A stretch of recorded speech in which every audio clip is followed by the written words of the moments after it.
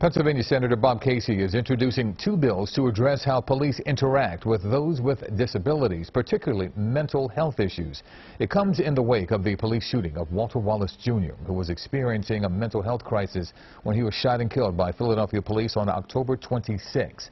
The shooting led to days of protests and looting. That family should have been uh, provided, or should have had the benefit of a system that provides them the support that they need, and in fact, that they're, they're asking for.